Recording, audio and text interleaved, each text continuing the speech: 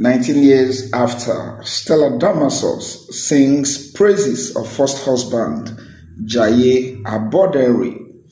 Pretty actress Stella Damasus on Sunday, December 3, 2023, took to Instagram to remourn and sing praises of her first husband, Jaiye, son of Chief Olu Aboderin, the four-cited founder of the Punch newspapers.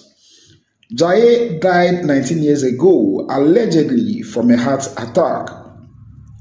Accompanying her post with a photo of Jaye, Stella, a mother of two, wrote, 19 years gone.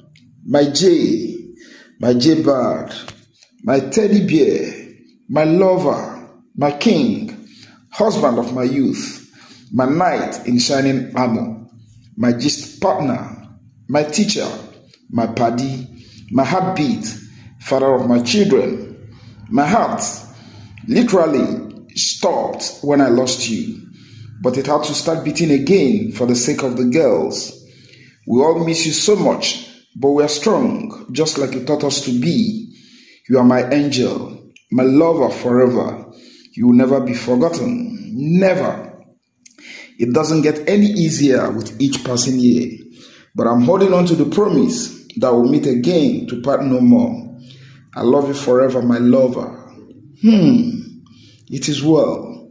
Continue to rest, my love. Rest in peace. Stella got married to Jay in 1999 and they had two daughters, Angelica and Isabel, before Jay died in 2004.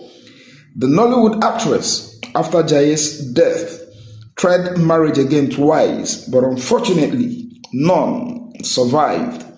The first was with Emeka Nzeribe in 2007, and the second with Daniel Ademinokan in 2014. The last one crashed this year. Hmm. Hmm. Hmm.